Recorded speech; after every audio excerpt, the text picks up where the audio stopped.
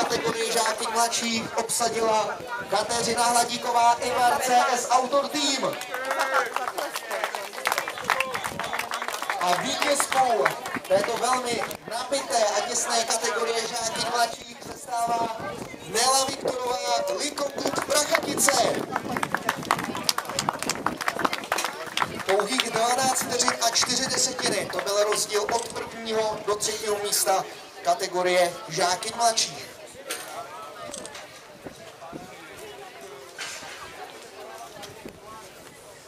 Petr Marek, šéf komise horských kol při Českém svazu cyklistiky, předává ceny těm nejúspěšnějším a společně s ním Ivana Slova, ředitel dnešního závodu a zároveň trenér místního domácího klubu. V tuto chvíli také gratulace s rukou třem nejúspěšnějším českým pomáhů. Žádný které se v letech 2004 a 2005 opravdu celá kariéra čeká na tohle ty dámy, které dnes ale byly nejúspěšnější. Třetí Simona Spěšná, druhá Kateřina Hladíková a vítězka Nela Viktorová.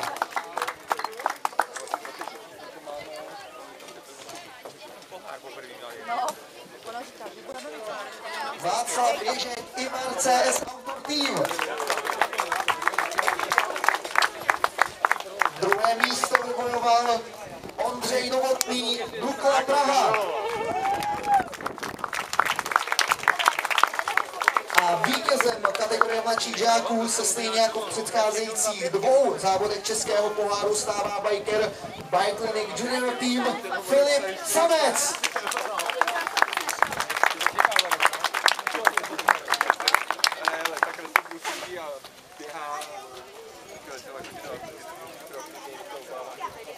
Velmi rychlý závod, kde se závodníci nemohli šetřit ani na jednu jedinou vteřinu. Petr Marek a Ivana Sova, dva pánové, kteří předávají opět těm nejlepším kategorii žáků mladších. Václav Ježek, Ondřej Novotný a Filip Samec. Za malou chvíli bude váš potlesk patřit právě jim. Ve chvíli, kdy i ten nejlepší dostává dnešní pohár, tři nejúspěšnější mladší žáci třetího českého poháru cross country horských kol.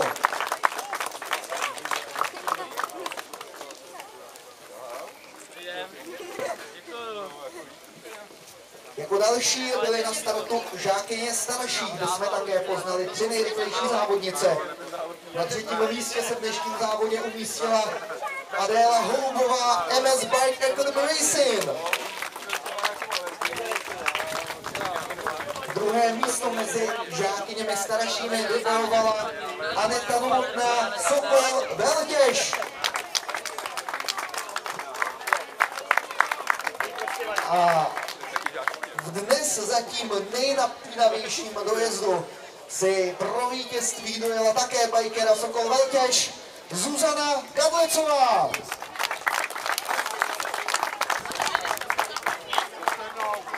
Rozdíl mezi parťačkami a tréninkovými kolegyněmi byl cíle pouhé čtyři desetiny.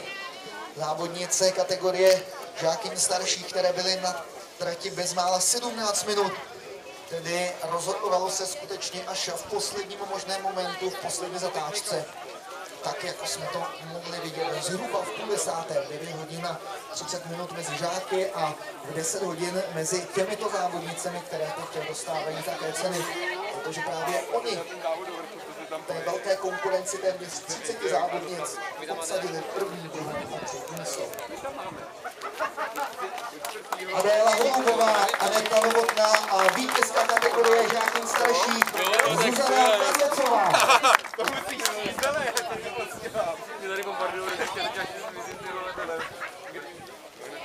Ve stejném věku, ve stejné věkové kategorii dnes závodili také žáci.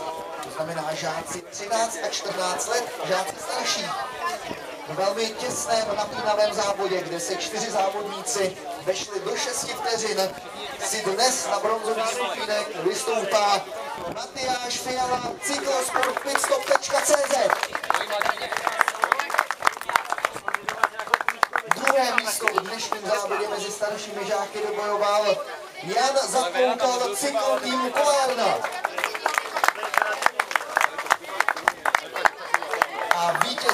Kategorie starších žáků se stává biker Invar CS Autor Team David Schulz.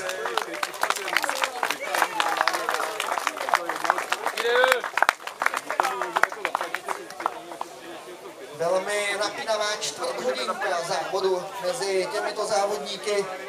Na čtvrtém místě pak Tomáš Lamka, který na vítěze ztratil 6 vteřin a 3 desetiny. Na bronz pak jednu vteřinu a jednu desetinu. Tomáš Lamka, který ale bude mít určitě šanci i v dalších závodech Českého poháru. Ať už je to v Peci v Brně, anebo na mistrovství České republiky v Bedřichově. Teď už ale opravdu můžeme vidět jen a pouze ty nejúspěšnější, ty, kteří dokázali v tom napínavém cílovém prostoru vybojovat první, druhé a třetí místo. Na třetím místě Matyáš Fiala jako druhý Jan Polukal a vítěz David Schulz.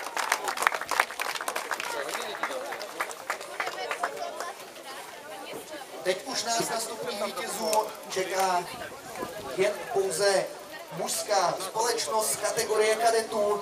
Závodníci, kteří museli dnes bojovat na třech plných okruzích, tedy 3x3 km a 800 metrů. Na třetím místě se umístil biker SK Jiří tým Ostrava Jakub Říman.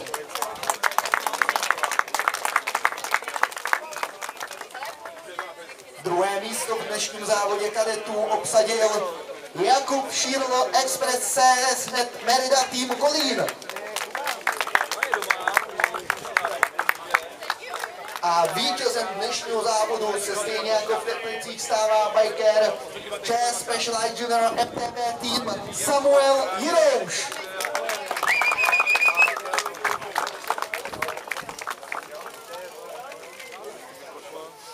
Tři okruhy, které už skutečně prověřili i ty nejlepší kadety. Vítězný Samuel Jirouš si na trati musel poradit se třemi koly a téměř 41 minutami tvrdé práce. Konkrétní čas Samuela vítěze dnešního závodu 40 minut 43 vteřin a 9 desetin o 18 vteřin a 9 desetin zpět. Šírova na třetím místě pak je Jakub Říman, který dokázal skutečně udržet to vysoce nastavené tempo i v závěrečných stovkách metrů dnešního závodu a hodně poprávené patří bronzový stupínek v té našlapané kadecké kategorii. Třetí Jakub Říman, druhý Jakub Širl a vítěz Samuel Jirouš.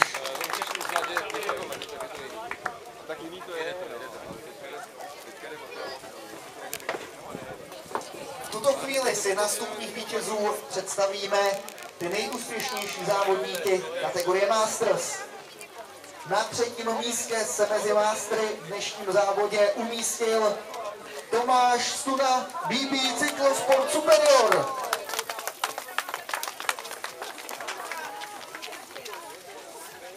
Druhé místo dnes vybojoval biker Nutrend Specialized Racing Jiří Chyba. A už po třetí v letošní sezóně na nejvyšší stupínek vystoupá v kategorii Masters Biker 11 Mercedes-Benz Mitas Ondřej Zelený.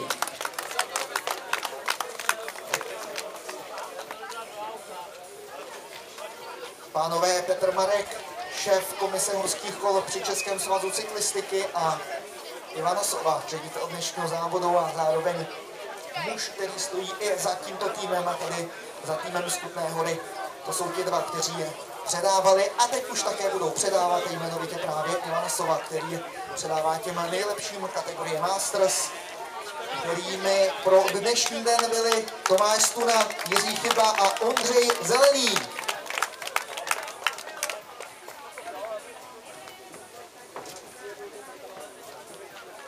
Pouze elitní kategorie a kategorie expert. To jsou kategorie, kde se vyhlašuje hned pět nejlepších závodníků. Jdeme si tedy pro nejlepší experty a to pěkně od pátého místa.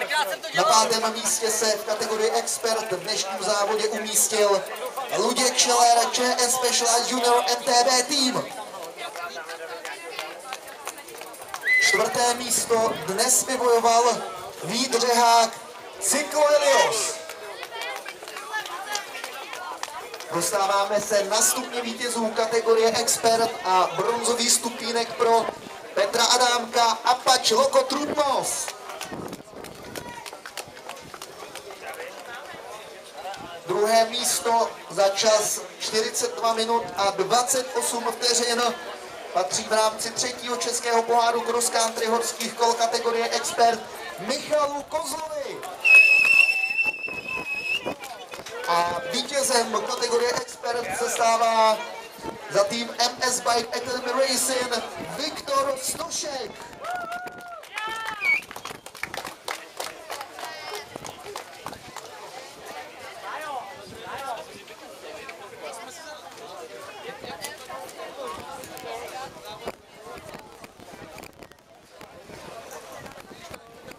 Také tři kola, stejně jako u kadetů a u kategorie Masters. Taková byla porce práce pro závodníky, kterým teď gratuluje a ceny předává Ivana Sova, ředitel dnešního závodu třetího českého poháru cross country horských kol. My můžeme vidět ty nejlepší závodníky dnešního dne.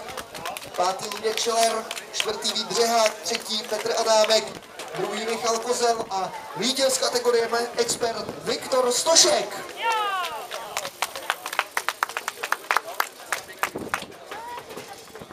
Blahopřeji druhé místo a také čtyřikrát třetí pozici právě v cross country horských kol už od srpna roku 2008 dokázala vybojovat tyto umístění, pokud se podíváme na jednotlivé závody, a to ještě musíme v kategorii ženy elite. Kate Flukerová z Nového Zélandu je zatím na třetím místě ze ztrátou 39 vteřin a 7 desetin. teď ještě bronz, ještě bronz, bronz, který poputuje k týmu Ivarce S Autor tým, pokud se nestane nic, co bychom nemohli predikovat, tak to bude závodnice se startovním číslem 502, která pojede pro bronzový stupínek. Tereza Laníčková je ta závodnice, která bude také na stupínky Na druhém místě Monika Kučerová a jako třetí bronzová Tereza Laníčková, na čtvrtém místě Magdalena Mišonová a podíváme na šlapání jednotlivých závodnic, které jsme teď mohli vidět na prvních pozicích, Jana Čekinkarová, Sram Mitastrek a Luna Pro Team pro Kateřinu Neš. To jsou dvě závodnice, které jako první odjeli první tři okruhy. Juniorky budou muset zvládat a poslední kolo, budeme zvonit do posledního kola, mezi tím ale rozhodně Mona Cycling Point, závodnice, která nám projíždí do druhá nohou. Tam tady projela, to znamená ztráta, která je jednu minutu a 8 vteřin, podíváme na Karlu Štěpánovou a na její rozestup od Jany Čečenkarové a Kateřiny Neš.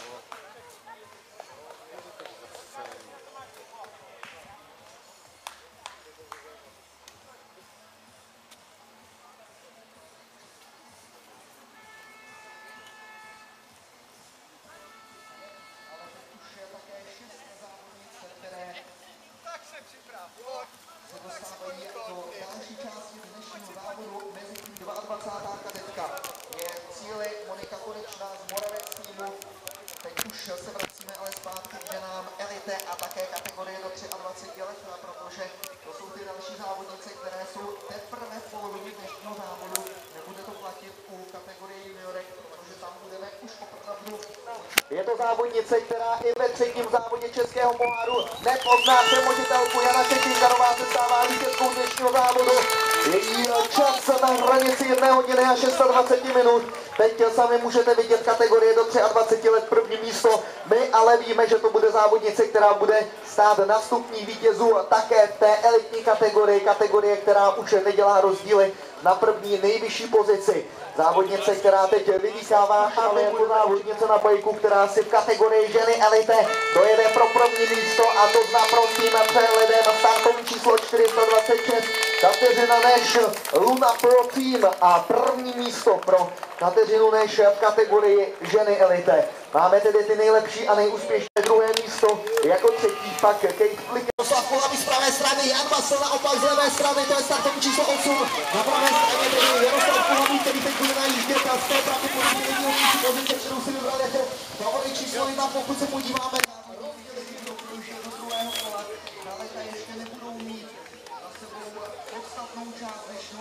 Teď už ale můžeme vidět podstatné startovní bude určitě tady v tuhle tu chvíli Sáhnu závodníka se startovníma číslem 68.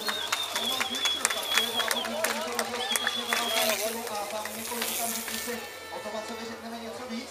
Je to ten muž, který dnes slaví 27. narozeniny, tuhle tu chvíli startu číslo 80 a Švýcar Nikola Roman, závodník, který teď drží druhé místo i hned za ním, ale ze 64 Africe, který tady v loňské sezóně vyhrál mistrovství České republiky, před Jaroslavem Kulhavým. Teď je to samozřejmě společný také se startovním číslem 2 a to je Jan Nesvadba. To nás rozhodně nepřekvapuje, i hned za nimi pak Jaroslav Kulhavý, Jan Škarnicl a Tomáš Paprska, to jsou ještě minimální rozdíly.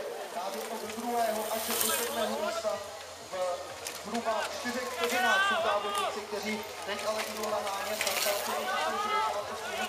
Vlastně čo, Wilsonem Merada, Bacon a Elkin Team, to je závodník, který, jak už jsme připomínali, dnes 7 to je závodník, který obsadil v roce 2013 čtvrté místo po mistě na světovém poháru, devátý byl německém Alstatu, pát 15. ve Valdisou, to je všechno sezóna 2013, rok 2009 bronzová medaile v kategorii do 23 let na mistrovství světa, stříbrný v kategorii do 23 let náskok a to od 68. Tomase Ličera, závodníka reprezentujícího Multivan Merida Biking Team. Teď to bude vypadat podobně, protože 64 je ale někdo jiný a to je konkrétně samozřejmě Mutejci, který za stejný tým a ve stejných barvách teď ale bojuje skutečně velmi slušným způsobem i především, protože se teď dostává při do třetího kola na první pozici. Teď už je to potvrzeno. Stejné týmové barvy jako jeho týmový kolega v předcházejícím kole se 68. Teď ale Ondřej Cink, muž, který tady dokázal v loňské sezóně vyhrát titul mistra České republiky. Za ním Jan Nesvadba. Honza Nesvadba, který se na prvních místech držel také v závodě v Teplicích. To byl závod, který se jel 30. dubna letošního roku, tedy před dvěma týdny, kdy jsme mohli vidět Jana Nesvadbu velmi aktivně bojujícího společně s dalšími českými závodníky. V tuto chvíli Ondřej Cink na první pozici, Jan Nesvadba, který ztrácí 11 vteřin a 9 desetin a tady opět meridácké barvy, týmové barvy a startovní číslo 68. Tomas Licher, to je ten závodník.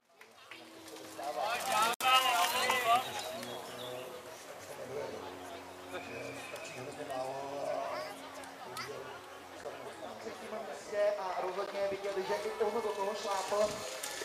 Z svého pohledu je tam nějaký rozdíl mezi Ondrou a právě Honzou, když se podíváš na jejich techniku jízdy a i na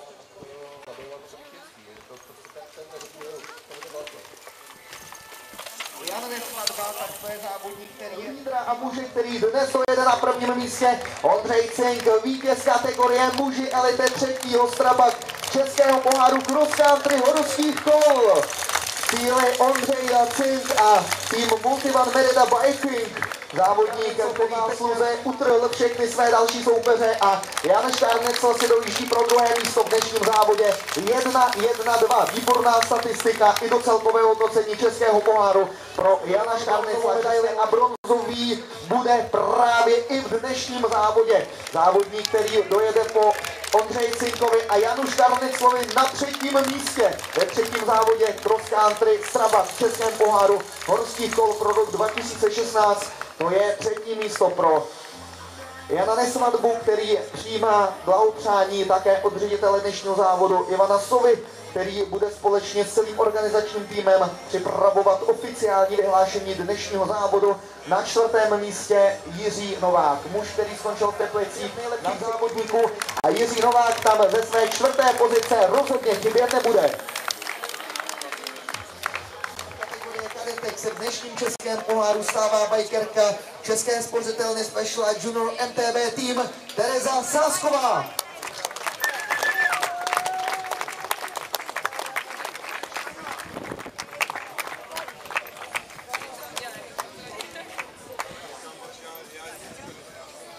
V tuto chvíli předávat bude Ivana Sova, ředitel dnešního závodu, ředitel třetího straba Českého poháru. A to nejúspěšnějším kadetkám dnešního dne, které můžeme vidět také na stupních vítězů. Čas vítězky 30 minut a 54 vteřin. Nejlepší kadetky Tereza Vaníčková na třetím, Monika Kučerová na druhém a na prvním místě Tereza Sásková.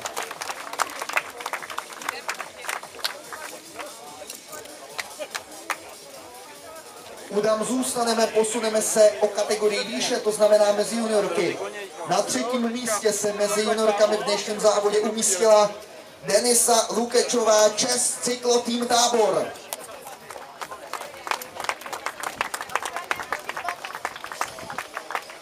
Druhé místo vybojovala second place goes to Liza Pasteiner, Austria.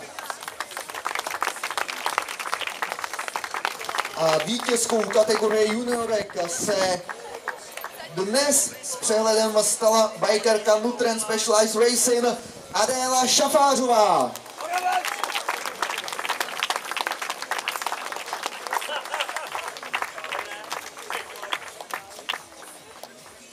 I pro vítězku, tedy Adélu Šafářovou, platí, že svůj bike může mít předstupní vítězů, tak jako to právě v tuto chvíli udělala právě ona.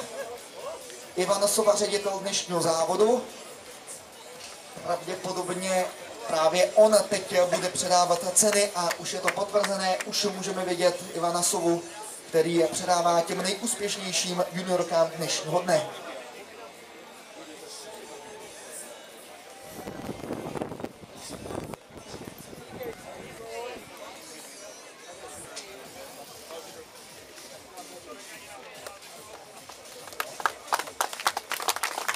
Denisa Lukešová, Liza Pastejner a Adéla Šafářová, nejlepší juniorky dnešního dne. Velmi krátká technická informace. Michal Zeťák, Express.cz, Merida Team Kolín.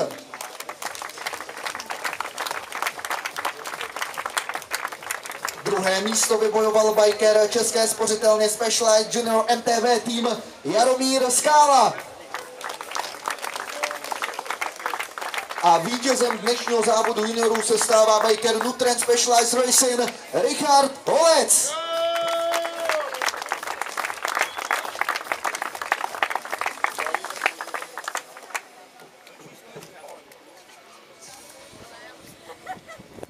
To už jsou závodníci, kteří dnes museli na trati bojovat přes jednu hodinu a 20 minut. Richard Holec 1, 21, 31. Tak to už je skutečně hodně a hodně nejen našlapaných kilometrů, ale také spálené energie.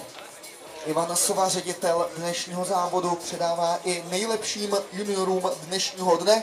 Tady už to máme také za price money, protože tohle už je věková kategorie 17 a 18 let pro závodníky, kteří budou pomalu připraveni už i na další kategorii do 23 let. Michal Zeťák, Jaromír Skála a vítěz Richard Volec.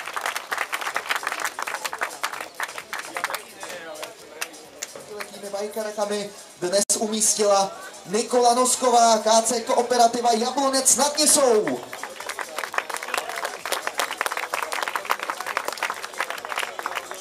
Druhé místo dnes vybojovala Barbara Průdková Nutren Specialized Racing.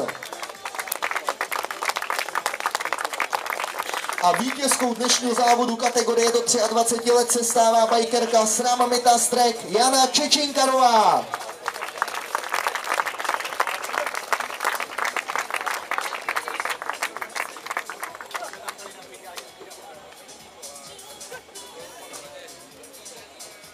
Předává Petr Marek, šéf komise horských kol při Českém svazu cyklistiky. Zároveň je muž, který dlouhodobě stojí za českým pohádem cross country horských kol. Společně s ním ředitel dnešního závodu Ivan Cova, také s cenou, která v tuto chvíli připadne Janě Čučinkarové, Nejlepší závodnice kategorie do 23 let, třetí Nikola Nosková, druhá Barbara Průdková a vítězka Jana Čečinkarová.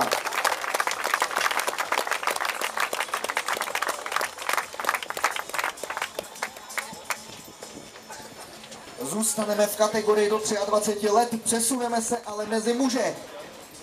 We are continuing with category males under 23. Na třetím místě se umístil third place goes to Jose Gerardo Ula, Mexiko. Druhé místo v kategorii do 23 let vybojoval Matěj Průdek Nutren Specialized Racing.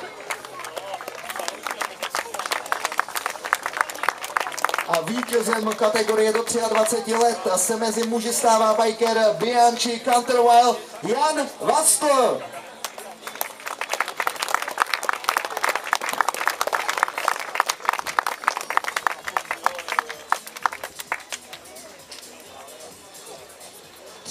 Tři nejlepší muži kategorie do 23 let, už také koze Gerardo Uloa, muž, kterého jsme dnes viděli se startovním číslem 11, je tedy na třetí pozici. Petr Marek, šéf komise horských kol při Českém svazu cyklistiky, je ten, který předává také šeky od partnerů Strabak Českého poháru pro rok 2016 a opět Ivan Sova, tomu nejlepšímu v kategorii do 23 let. Gratulace, ale především také další cena pro Jana Vasla, muže, který vyhrál v kategorii do 23 let. Jose Gerardo Ula, Matěj Průdek a Jan Vasl.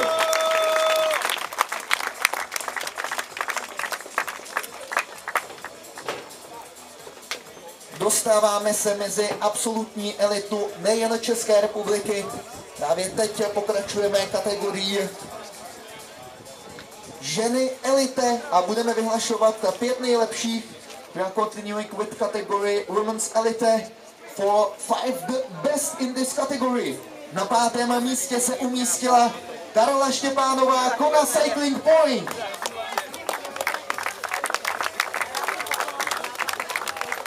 Fourth place and fourth position goes to Kate Fluker from New Zealand.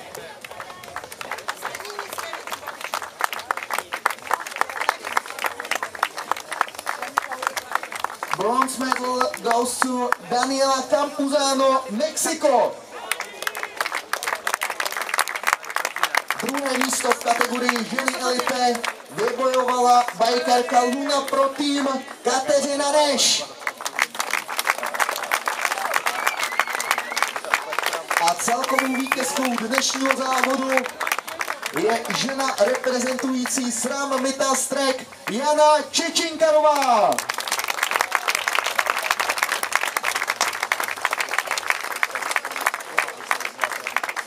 Na pódiu vítáme a je nám velkým potěšením také starostu Kutné hory, pana Martina Starého, který právě teď bude moci elitním kategoriím poblahopřát a to i hned pěti nejlepším bikerkám. Martina Starý teď gratuluje Karle Štěpánové, teď už se ale přesouvá k dalším a dalším závodnicím elitní kategorie ženy, které dnes obsadily první až páté místo. Ivana Sova samozřejmě chybět nesmí, to je muž, který stojí za kutnohorskou cyklistikou a je také ředitelem třetího strava Českého poháru. Právě teď také blahopřání směrem ke Kateřině, než pětinásobná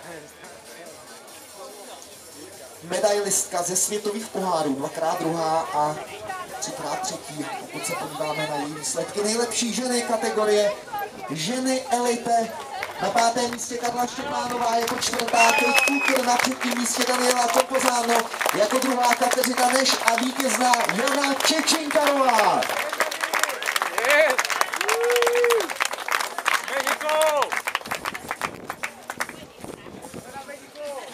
Nejlepší ženy, také prize money, které jsou určeny pro ty nejlepší závodnice dnešního dne a pódium, které se uvolní pro poslední kategorii, pro ten závod, který jsme mohli sledovat už v tom skutečně našlapaném startovním poli. We are continuing with category Men's Elite for the five the best in this category, for the five best in cycling into this program. Na pátém místě se umístil fifth place goes to Alexander Gebauer, Austria. Čtvrté místo jen velmi těsně pod stupní vítězů pro Jiřího Nováka, Superior Branches NTB Racing Team. Dostáváme se na stupně vítězů elitní kategorie. Na bronzový stupínek vystoupá Biker Express CZ Merida Team Kolín Jan Nesvadba.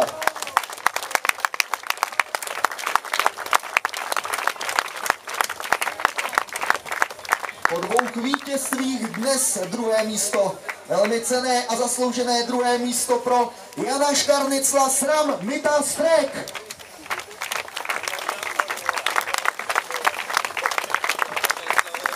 vítězem třetího Strabag Českého poháru cross country horských kol se stává muž, který tady v loňské sezóně vybojoval titul mistra České republiky. Biker Multivan Merida Biking Team Ondřej Cink.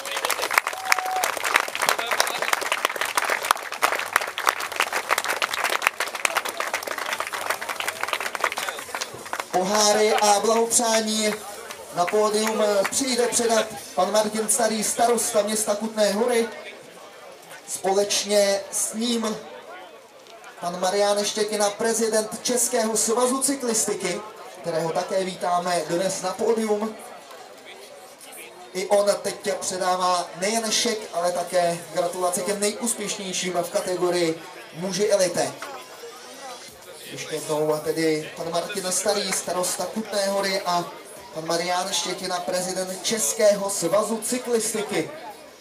Společně s nimi Ivan Sova, muž, který stojí za třetím Strabak českým pohárem právě tady v Kutné hoře.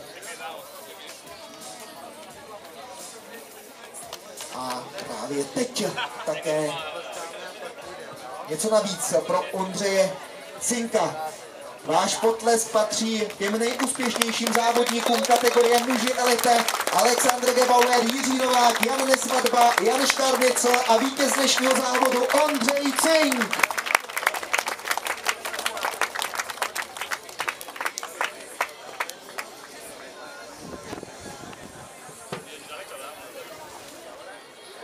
Uvidíme, jestli pánové půjdou ještě blíže k sobě, tak aby i vy jste mohli mít